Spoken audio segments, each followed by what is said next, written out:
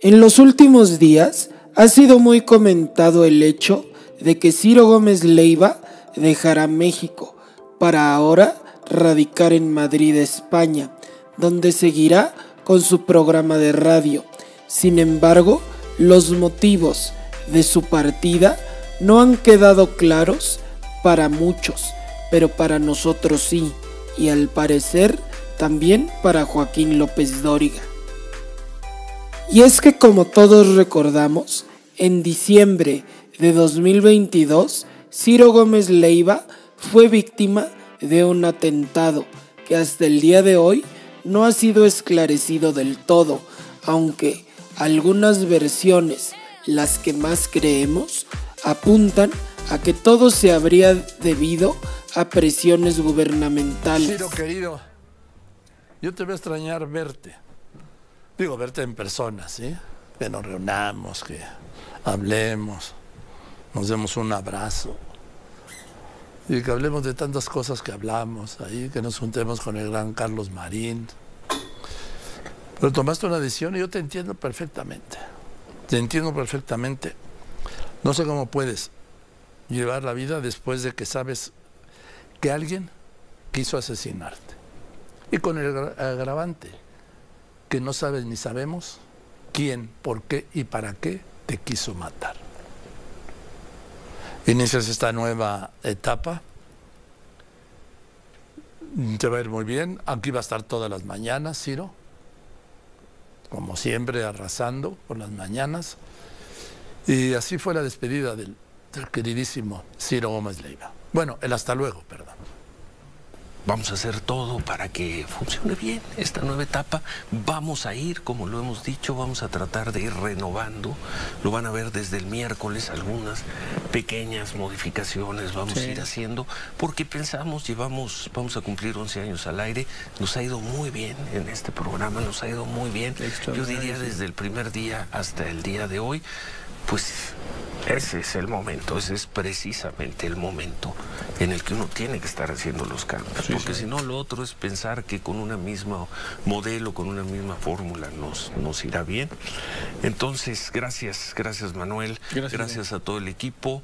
El miércoles eh, yo estaré transmitiendo desde Madrid y repito, yo sin esta gente y sin la gente de Fórmula, Jaime Azcárraga, gracias por la confianza, veintitantos años después, once años después en la mañana, y sigue creyendo en nosotros, sigue confiando en nosotros, gracias por esta nueva oportunidad, eh, gracias, vamos a poner, ojalá nos vaya muy bien, creo que nos, creo que nos va a ir bien, pero de lo que no tengas duda, Jaime, es que vamos a poner todo porque para, para que nos vaya bien.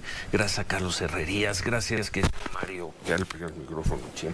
Gracias Mario Gracias, Ávila, Mario. gracias Luis Alcántara, gracias a todo el equipo de Fórmula. Ciro, claro que te va a ir bien, Ciro.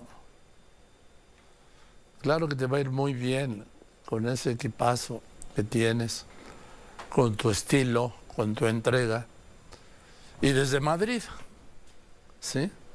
Desde Madrid que vas a transmitir de 7 a 10 es de 3 a 6 de la tarde. Si fuera este programa se transmitiría de una de 9 a 11 de la noche. Yo te abrazo con cariño, Ciro querido. Sí, por supuesto que te va a ver bien, no tengan la menor duda. Y aquí vamos a estar. Lo que nos llamó la atención de la reciente declaración de Joaquín López Dóriga fue precisamente que el periodista sí se atrevió a sin eufemismos insinuar al aire que los verdaderos motivos por los que Ciro se va de México es por presiones gubernamentales, pero sobre todo por el atentado. Y es que lo que hemos visto es que Ciro Gómez Leiva, desde el atentado, no ha querido caer en el terreno de la especulación sobre quién lo quiso matar.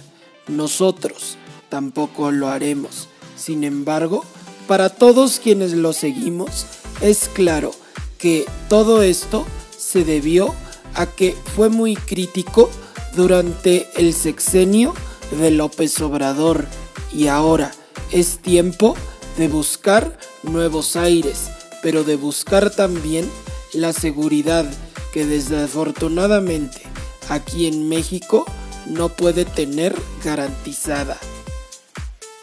Si bien para nosotros la declaración de López Dóriga no es ni tronante, ni mucho menos, sí retrata el cómo varios comunicadores y medios de comunicación en su conjunto han recibido varias amenazas y presiones no solo por tratar de decir la verdad, sino también por revisar de forma crítica y profesional al gobierno en turno y al gobierno del expresidente López Obrador.